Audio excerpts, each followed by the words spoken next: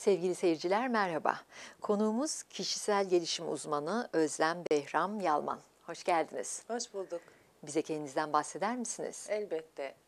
Ben Şanlıurfa doğumluyum ki bütün topraklarımız gibi orası da çok kadim bilgilerle dolu ve enerjisi çok yüksek bir şehir. Ardından Ankara'da ilköğretim ve lise yıllarımı tamamladıktan sonra üniversiteyi bitirdim ve İstanbul'da çalışma hayatına başladım. İstanbul'da evlendim ve bir kızım var şimdi. E, kişisel gelişim yolculuğum ise 2008 yılında kızımın doğumu ile başlar. 2015 yılında bu süreç benim için hızlandı. Kinesiyoloji, fizyoloji, numeroloji gibi eğitimler aldım. Bu eğitimlerin arkasından kendimi daha iyi e, ifade edebilmek için en son kuantum e, level 1 ve 2 eğitimlerimi tamamladım. Hem müzik eğitmenliğime devam ettim hem de bu eğitimlerin sonucunda ses analizi adını verdiğim bana özel bir teknikle spiritüel alanda Aşiyan'ın Melodisi sayfasıyla sosyal medyada yerimi almaya çalışıyorum.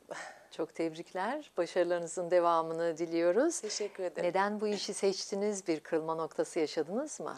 Aslında bu iş gün sonunda beni seçti. Ben e, yıllarca bu alana olan merakım, evrene olan sorularım ve farkındalıklarımla bu yolun peşinden geçerken e, müzikle olan e, birlikteliğim ve aldığım eğitim de solfej frekanslarını araştırmaya beni itti.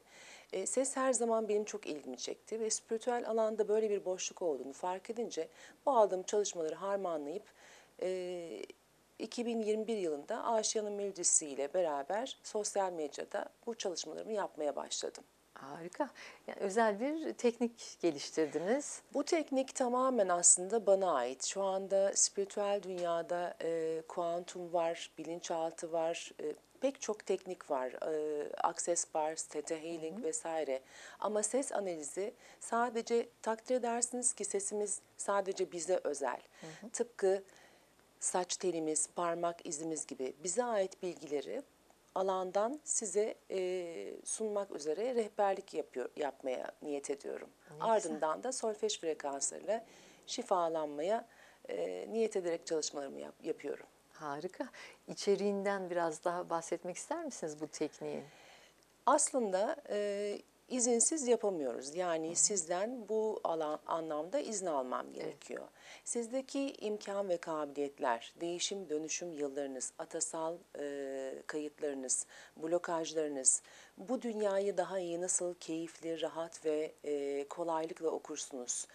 kendinizi nasıl daha parlatırsınız? Aslında kendinizi daha çok nasıl gerçekleştirirsiniz? Çünkü bizim bir tekamül sürecimiz var ve bu tekamül yolculuğunda kendimizi ne kadar tanır ve gerçekleştirirsek o kadar e, yola doğru ve hızlı e, yol almış oluruz.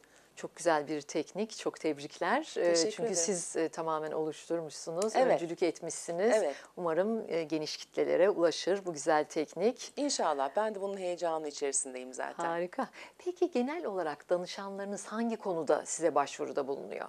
Şimdi takdir edersiniz ki gençler daha çok iş alanlarında. Evet. Çünkü meslek seçimleri hayatımızdaki en önemli seçimlerden bir tanesi. Gençler meslek seçimleri, yol ayrımları yaparken daha orta yaş grupları alan değiştirmek, mesleklerinde yön değiştirmek ya da özel hayatları ile ilgili e, majör kararlarda bu tekniğe başvurabilirler. E, danışanlar genellikle bu anlamda destek alıyorlar. Ben de onlara e, fener tutmaya niyet ediyorum. Ne güzel.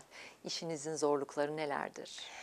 Şimdi bu iş elle tutulur, gözle görülür bir iş olmadığı için aslında danışanların bazıları sizden mucize bekliyor. Aslında mucize Allah'tan. Biz sadece aracıyız.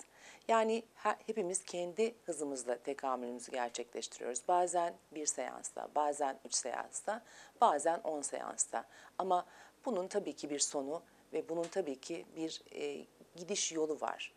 E, sizin çabanız, gayretiniz bu çalışmaya olan inancınız da tabii ki çok etkiliyor.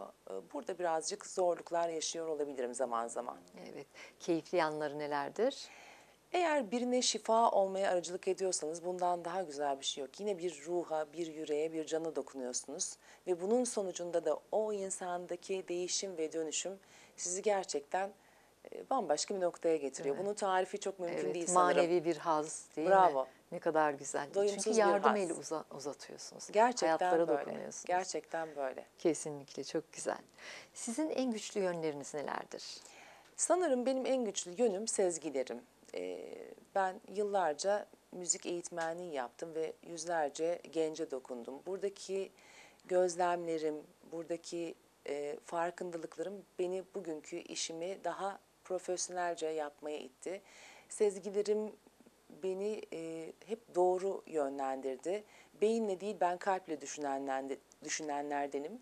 E, bu da do- yolumu hep aydınlattı. Şahane. Hep aydınlık olsun yolunuz. İnşallah hep beraber. Sağ olun. Sizce başarı nedir?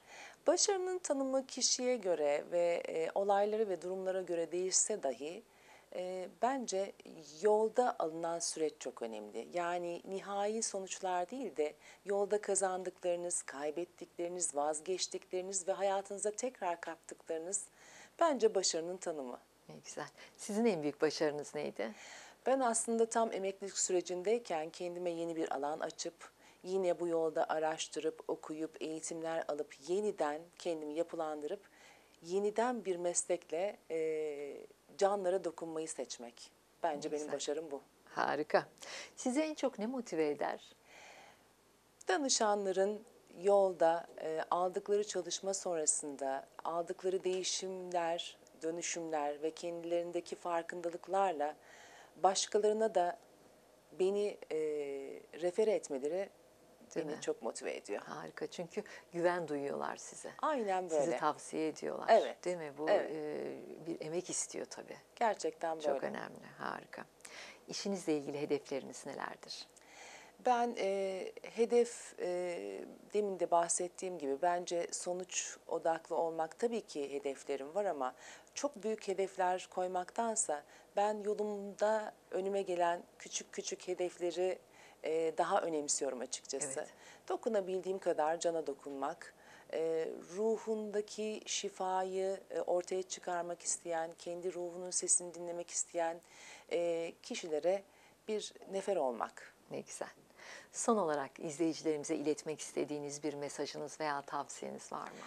Elbette var. Ee, biz e, bence e, bu topraklara, Anadolu'ya ve e, Mustafa Kemal Atatürk'e, evrene, e, sisteme, e, yaratıcıya bir borcumuz var ve bu borç da bence kendi tekamülümüzü gerçekleştirmek. Ve bu yolda yapılan her çalışmayı çok önemsiyorum. Harika bir mesaj oldu.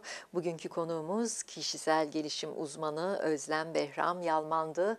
Katılımınız, bu önemli açıklamalarınız için çok teşekkür ederiz. Ben teşekkür ederim. Çok mersi. Sevgili seyirciler, sağlıklı ve mutlu günler dileriz. Tekrar görüşmek üzere. Hoşçakalın.